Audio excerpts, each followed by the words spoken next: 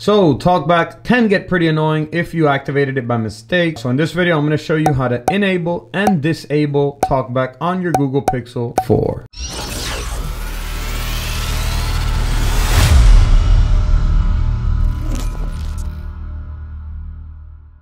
Hey there, my name's Sergio with Serg Tech, and in this channel I do tech reviews and tutorials. So if you haven't subscribed already, go ahead and do so now. Hit the bell to receive notifications on my future videos. There's gonna be links to all the information that I talk about in this video down below in the description. All right, let's get right to the video now. All right, so maybe you activated it by mistake, or maybe you're trying to activate the TalkBack. So in this video, I'm gonna show you how to do either or. You can either disable it or enable it. So all you have to do is find the settings. With TalkBack, you can scroll around with with two fingers. So what we're gonna do is with two fingers, we're gonna scroll down from the top and we're gonna scroll down once again. And we're gonna see the settings wheel right here. We're gonna select it Open and then double tap it. So here in settings, you're gonna scroll down with two fingers, scroll down to accessibility. Once you see accessibility, just select it, double tap it. And here is TalkBack, the feature that whenever you touch something on the phone, it will read it out to you for people who are vision impaired. So select TalkBack, double tap it, and then here, just select the little toggle here and Use double tap it. Okay, and then here it's just asking you to confirm to disable talkback. So just select stop, stop, double tap it, and it will be disabled. And there you go. Your phone will no longer be in talkback mode and you can use it normally again. And you can use this to, like I said, either enable or disable talkback on your Google Pixel 4 and 4 XL. So that's pretty much it. If this video helped you out, give it a like. It helps me out. And that's it for this video. I will see you in the next one. And as as always, peace.